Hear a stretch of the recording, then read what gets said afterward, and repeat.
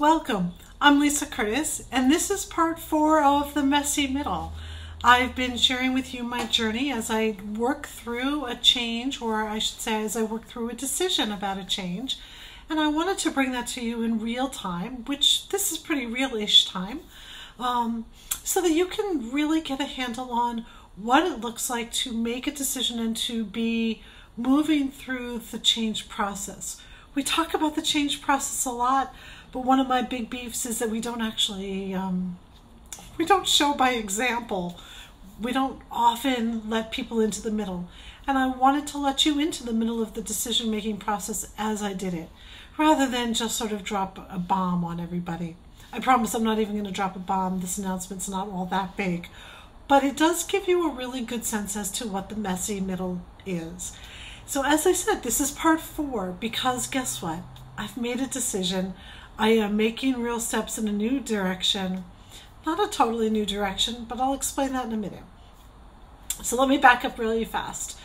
The change process starts with not having any awareness that there might be a problem to moving more and more forward to hearing a bell ringing sort of in the back of your head that says, mm, I think a change might be necessary what we know is that we spend this portion, the contemplation stage of the change, cha- stages of change, gathering information and deciding what might or might not work for us. I am a huge fan in deciding what won't work as much as I am a fan of deciding what might be a decent fit. So that gives us a real sense as to what can be weeded out and what do we sort of need to whittle it down to. So, after much thought, and here are some of the pieces that were going into my decision making, I knew I wanted to make somewhat of a pivot, but not a massive pivot. I know that I love the work that I do dearly, so I want to continue to do my work just in maybe a slightly different way. I know for sure that I am not going back and getting another graduate degree or anything like that. Not going to happen.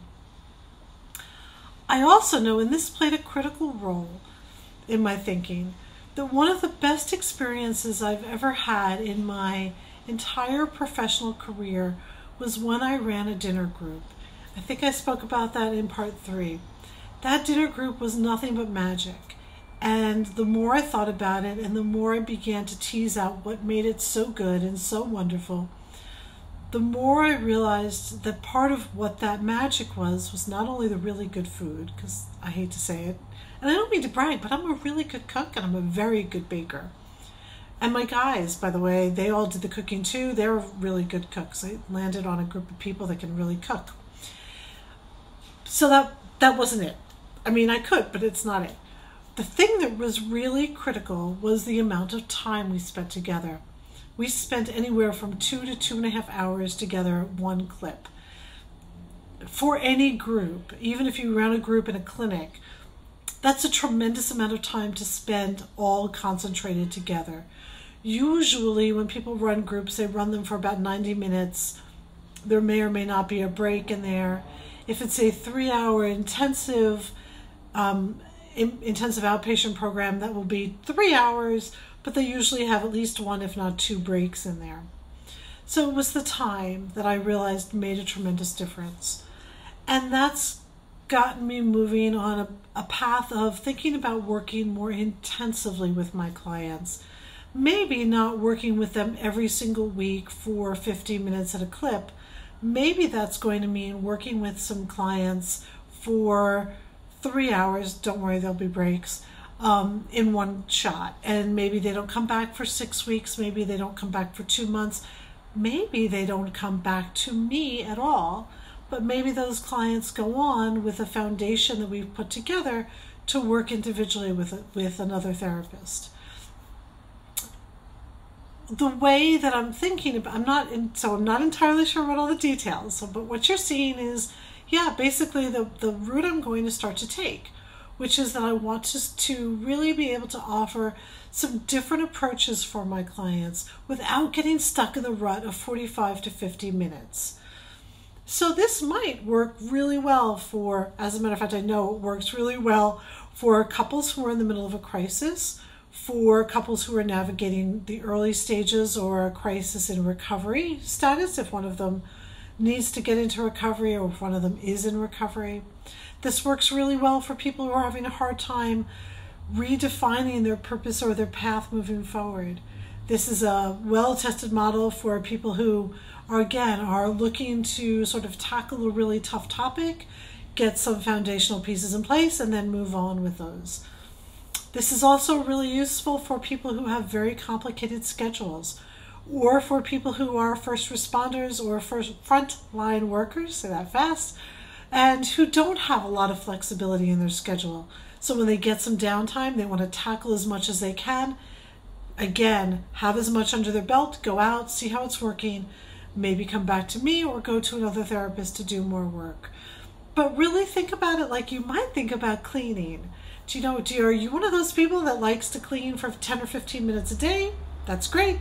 Or are you one of those people who wants to do one big, like huge cleaning, get that knocked out of the park, and then you don't have to do anything big for another two, three, four weeks, depending on how tidy you are during the week.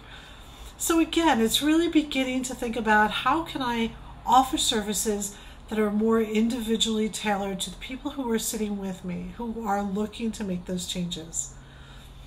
So I've made that decision.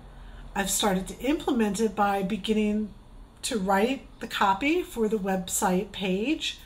I've even gone so far as to contact my website developer who will do the final finishing touches and make it look good. And I even hired the person who does some of my copy work for me to go over and polish up what I've already written. So it's begun. The change has begun. I'm not sure how or when it's going to, to go out into the light of day. Well, I kind of do know because I'm telling you guys. And that's the beginning, again, of, of beginning to really now take my plan and put it into action. That doesn't mean that somebody's going to show up at my door tomorrow asking for a time period to work intensively. But it does mean that I've started to, to feel comfortable enough to say it out loud so that when colleagues call, when new clients call, it's part of the repertoire of what I can offer. So there you have it.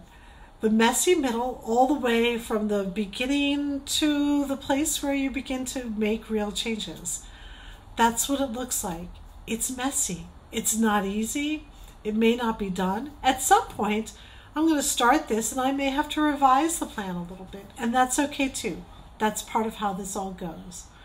If you have questions about your own messy middle, or you have a question about working intensively, or what it means to make a change and how to sustain that change, feel free to reach out. I'll put the comment in the comments section, I'll put the contact information for me. In the meantime, I'm Lisa Curtis, a licensed clinical social worker and substance abuse counselor, and I wish you the very best for your day. I hope this has been helpful to you.